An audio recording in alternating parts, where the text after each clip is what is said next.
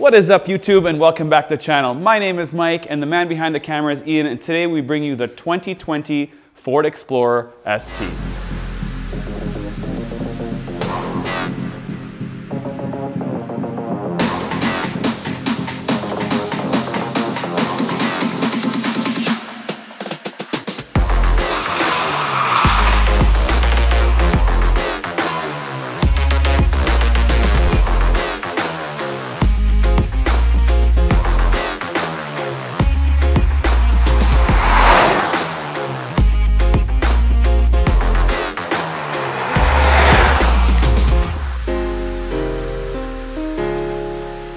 to give a big shout out to Randy from Mount Brydges Ford. Thank you very much for loaning us this 2020 Ford Explorer ST.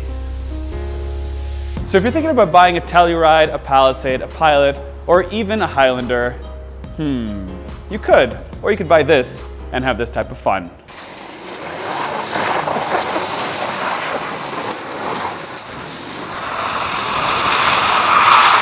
Don't you guys think this has some similarities to a Range Rover? I've always seen it on the road and I've thought, man, that's a good looking truck. So I really wanted to get the Explorer here and review it for you guys.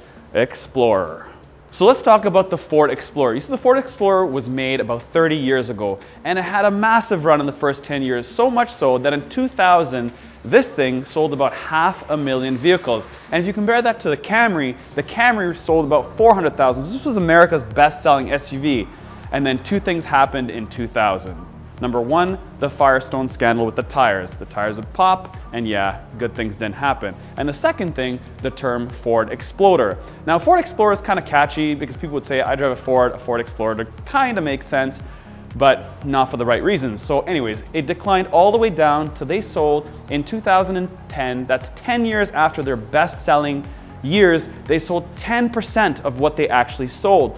So all the way from half a million all the way down to about 40,000. So the brand was almost gone. You see, the Internet Explorer is gone, but the Ford Explorer is still here. But then in 2011, Ford decided to stop making trucks. So what they did was they took the Explorer and they stopped putting body on frame and then took pieces of the Volvo S80 frame and made it a unibody, which means it drives more like a car now, and that helped sales because sales started to climb up. So instead of being down 10%, they got that back up to 50%. So here we are today with the Ford Explorer ST. But don't worry, it's not all bad because remember Audi? They had unintended acceleration where vehicles would slam through living rooms. So everybody had their fair share of problems. I personally didn't want to review any other Ford Explorer except for this ST because it does obviously look like, you know, exactly. And the front of this car does have pieces of the Range Rover, which is like wide body in the front. You see it kind of flares out in the front. It's got this really short overhang and this is a sixth generation and it just does not have a V8. So there are people out there that say, I need to have a V8. No, you don't need to have a V8. You need to have 400 horsepower. That is plenty. This thing does zero to 60 in guess. 5.2 to 5.3 seconds, depends on who reviews it. The Kia Stinger does 0 to 60 in 5.1. This is fast.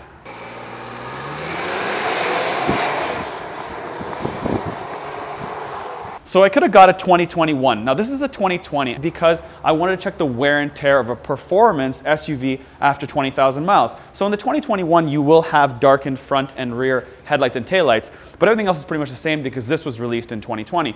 Now, how is it gonna feel? So if you guys wanna see that, stay tuned for the drive portion of this video, and I'll tell you and I'll show you how the fit and finish is after 20,000 miles of something like this. I really do like the front Explorer portion of it. I like how it's kind of like Kia Telluride, Range Rover-ish. I really like the monochromatic Ford logo. Kidding, it's not here. They should have one because this Ford logo eh, doesn't really fit in with all this black. Like this is a full blacked out package. This also does have the performance pack, which gives you red brakes. It gives you a few other pieces that make it a bit more performance oriented. But what else does it give you for the ST? All right, let's check under the hood because this is why you buy an ST. You see, they're available in four different variants. You can get the XLT, you can get the Limited, you can get the ST, and you can get the Platinum. This should really have, you know, not that. But you can get three different versions in terms of power 300 horsepower, 365, 400, and yes, they are going to come up with a hybrid version just like they are in the F 150. Now, they, I've heard rumblings that they're going to put 500 horsepower in this thing, which is going to be insane. I am excited to drive it. But what confuses me is the limited and platinum. Kind of seems like the same thing. I always felt like limited was the top of the line, but it's not. XLT, limited, ST for performance, and platinum. So on the side of the vehicle here, I like how they have the headlights to wrap around. It does have, as I mentioned, really wide hips. It does have the performance pack, which gives you red brakes and 21 inch wheels. But there's something really important about the side of this car, and that is the fact of getting in the back seats. Now, let me bring my bunch of keys. And if I want to unlock or lock, I simply just touch the handle and I unlock. Now this might sound crazy, but other cars in this class don't have this. And for me, getting in and out of the back seat is important because you only buy these things when you have kids. So when you get the kids out, you don't want to jump to the front seat and hit and lock the car. Anyways, in terms of length, this thing is 119 inches. In comparison, the Audi Q7 is 117 inches and the Kia Telluride is 115 inches. Or it's 114.9. But the point is, is that this is a pretty large vehicle and something that makes this kind of power and to become sporty is not easy. So I'm really excited to get this thing on the road and see how it drives. But let's move to the back. And we're back. And we changed the look for you. Instead of going to the back, we are flipping the cars around. Tell us what you guys think in the comments below and if you like this look. So if you made it this far in the video, one of the biggest points about this Ford Explorer is that is now rear wheel bias. You see from 2011 all the way to basically 2020, it's been a front wheel bias. And that to me, eh, no good. But now it's rear wheel bias, which means you can have some fun with it. If I'm stuck with buying only one vehicle and I want something fun to do donuts in, there's nothing I can do in a Kia Telluride, a Pilot, a Passport, or a Highlander, but I can do it in this and I may or may not get pulled over. If there's two things I'm not a fan about is one is these lug nuts should be black. They should not be silver. It's a full blacked out package. It should be silver. And secondly, these exhausts. The exhausts look like real exhausts, but they actually point down. And that is generally done because of carbon buildup. They don't actually want to have black around these exhaust tips when they get old. Maybe that's it, carbon buildup. Now, when this is locked, um, there's a little arrow here to unlock the trunk, but it doesn't work with the key right here.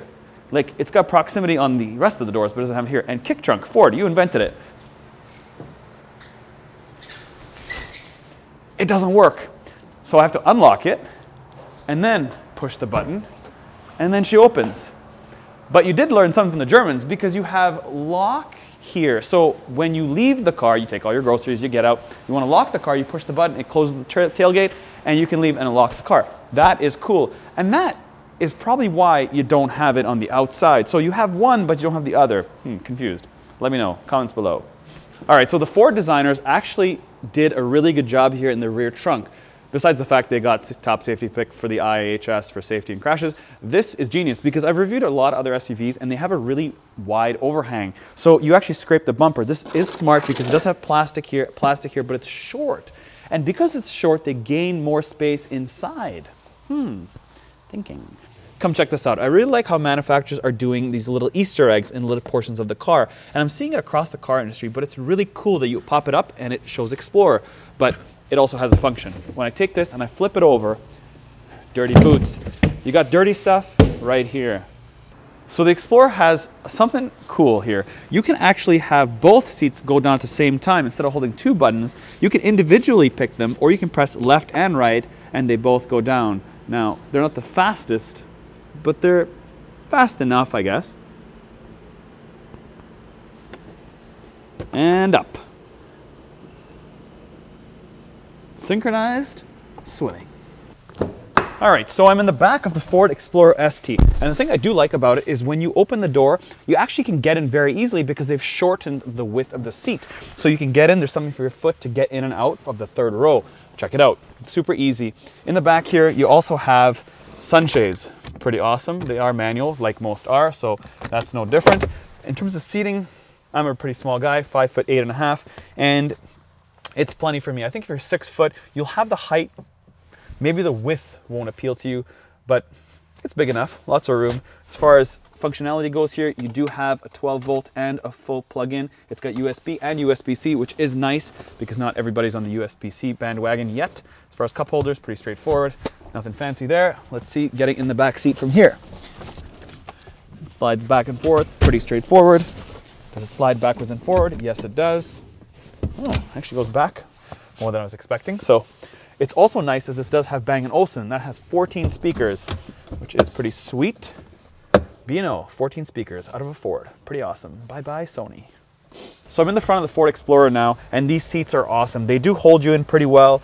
Um, this was lathered up pretty well with some leather conditioner, so it's a bit slidey. But the only complaint I will have is the length or depth of the lower seat. For taller people, they like to have leg extensions, and this does not offer that. I tried to go through the system and I could not find any leg extensions. And I'm looking at the leather here, it does not extend. So if you do have a Ford Explorer, let me know about that issue.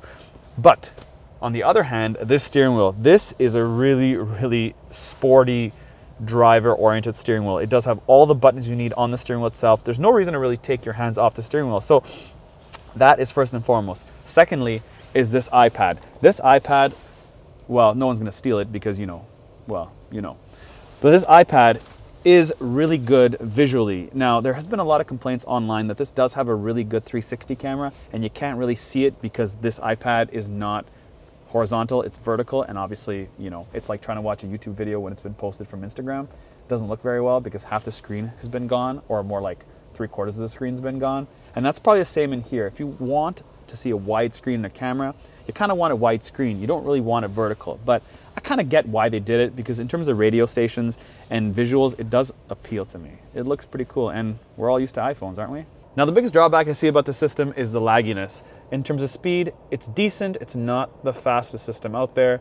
So if you are used to being a tech guy and you like to have instant speed, it's decent. It's not the fastest. Three other interesting features is one is the dial. Now, obviously Ford did have Range Rover under its belt for a while, and that might be where this came from. This is pretty cool to have. Now, other manufacturers do have it, like the Ram. The Ram has it up here, but this has it down here. And the cool thing about it is that the paddle shifters actually work, and they actually work pretty well. You just hit the M button, it'll hold the gear all the way up. Second is the auto hold. My wife has this in her BMW X3, and it's an awesome feature. When you come to a stop sign or any behind any car, you press the brake, you let go, and the car does not roll forward. It only rolls forward when you touch the gas, which is pretty cool, so you're not actually holding the brake the whole time. My traffic people, you feel this. And thirdly is this wireless charging. This wireless charging is pretty cool. You take your phone, you leave it here. But the only problem is this has really good brakes. So when you hit the brake, the phone flaps forward and it unwirelessly charges. Hmm. But if you do have a cord, they thought about you because your USB and USB-Cs are underneath here, and you do have a little sort of cutout that the wire can feed through. So they were thinking about you, and they have a slot right here to put your phone.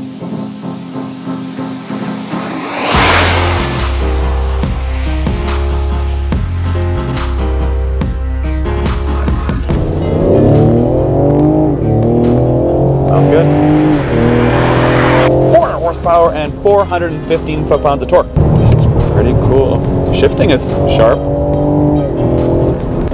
And this is a brand new rear bias. That's fun. 10-speed tranny. All the fixins, hold ESP off, hold it down, and it'll say advanced, hold for advanced track off. All right, so that's shutting the stability program down. This doesn't have launch control, but so hit the brake, hit the gas, a little bit of power, and let go. This does 0 to 60 in just over 5 seconds. You know, Ford is no longer making sedans, so they have to make SUVs that are fun. People say, well, should I buy a Telluride or should I buy this? Well, for starters, this is a little bit bigger, and the Telluride doesn't offer performance. It offers better equipment and better things in it, but they don't offer performance. So if you want performance, there's not really much else to go or look, right? I mean, maybe the Dodge Durango, maybe, which we've got to review soon, but there's not a lot in the in the category. So eh, I could see. So this thing's got stiffer springs, thicker roll bars, and stiffer dampeners, or adaptive dampeners, I apologize. And oh, that's just pretty strong. Nice, nice 10 speed tranny. Oh, Beautiful. There's deer out. I love shooting in the country. Um, but yeah, the, so the ride is not overly stiff. It's it's a good feel. It's not going to be crazy bumpy. It's not going to hurt your back, but it definitely is a bit stiffer than most. You will feel and you will get some feedback from the road. You get the body feedback. The steering feedback is decent, but I definitely feel the suspension feedback more than I do the steering feedback.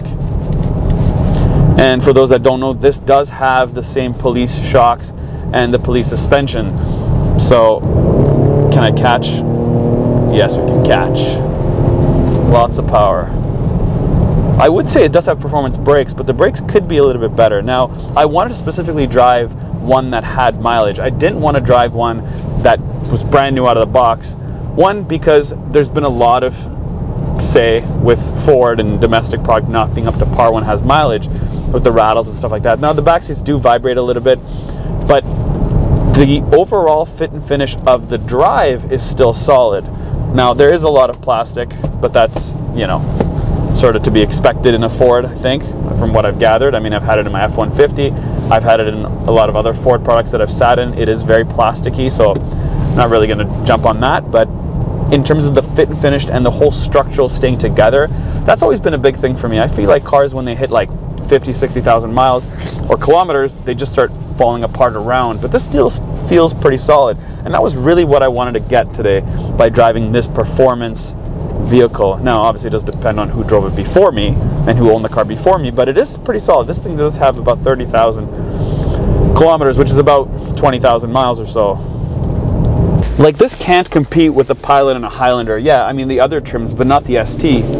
Now Ford does have two things. One is called Eco Coach, and that basically shows you how you're doing in terms of your effectiveness of driving, of saving fuel. And I don't know why it's in this. They should have yanked it. Kept in the other models, but yanked it on this one. And the second one is basically Ford's safety systems to keep you in the road um, stop and go, it's got traffic sign recognition, and it's got lane centering, which is exactly like the Telluride. It's got lane centering. It'll keep you in the lane. It'll center you in the lane, not just keep you in the lane. So that is a plus in my opinion because lane centering is the difference maker. Just keeping you in the lane kind of sucks because you're hitting and nobody wants that. We want to stay right in the center of the lane. So Ford, sick. I don't know how or why they put it in here, but it is genius and it is massage seats. Like you would not think a performance vehicle or performance Ford vehicle would have massage seats. Just doesn't make any sense, but they put it in. So I'm like, cool, massage on both sides, driver and passenger. So the missus or the mister, you know, can get that back massage. So let's test it out and see how good it is compared to some of the better massages out there. Let's see if it's a shiatsu massage or it's a lumbar massage. And it is lumbar. So it is like the Audi S5. It is full lumbar. It is not like a full shiatsu massage like the Escalade or, oh, oh, it's got lumbar on the booty. It's got lumbar on the booty. So that's pretty cool, I think. What do you guys think? Let me know in the comments below. And if any of you guys want me to review, let me know in the comments below and back to studio. Well, thank you very much for watching our video on this Ford Explorer ST. And a big shout out to Mount Brydges Ford for giving us this car. Now, if you guys liked our videos, please consider subscribing. And once again, thank you for Mike and thank you for Ian and see you next time.